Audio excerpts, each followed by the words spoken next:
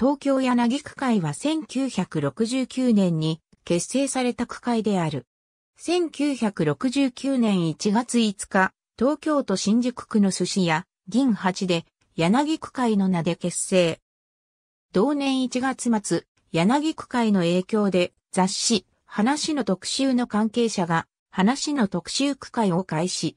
久し、小沢と初期の女性は柳区会と共通していた。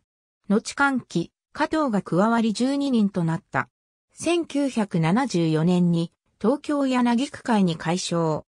細かい快速があり、欠席の場合は必ず未婚女性を代理で出席させることや、区有の女性に手を出した人は即時除名するなどがある。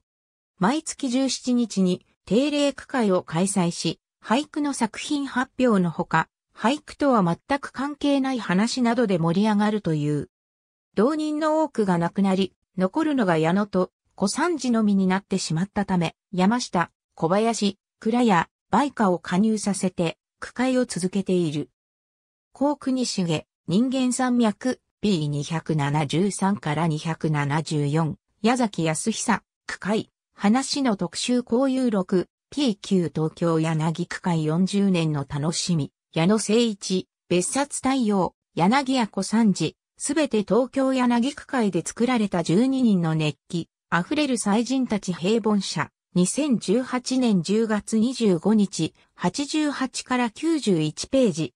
ISBN 9兆7845億8294万5874。ありがとうございます。